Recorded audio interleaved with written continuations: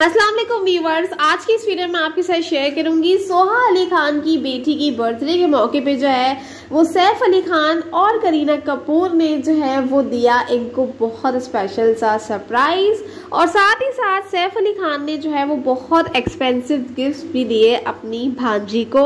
आ, सोहा अली खान और कुणाल ने जो है वो घर पे एक बर्थडे सेलिब्रेट की थी जिसमें सैफ अली खान और बच्चे तैमूर जे सारे लोग जो है वो आए थे इनके फ्रेंड्स आए थे।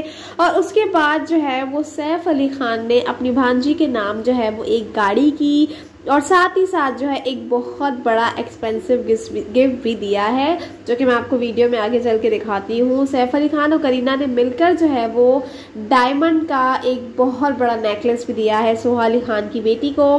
सैफ अली खान ने कार भी दी है और ये सारा कुछ जो है सैफ अली खान ने कहना है कि वो उनकी लाडली है। और सोहा भी उनकी लाडनी रही है तो उनके बच्चे भी लाडने हैं। तो इस तरह से जो है, बस की बर्थडे सेलिब्रेट हुई। चैनल को सब्सक्राइब कीजिएगा बेलाइकन को प्रेस कीजिएगा, वीडियो अच्छी लगे, लाइक कीजिए।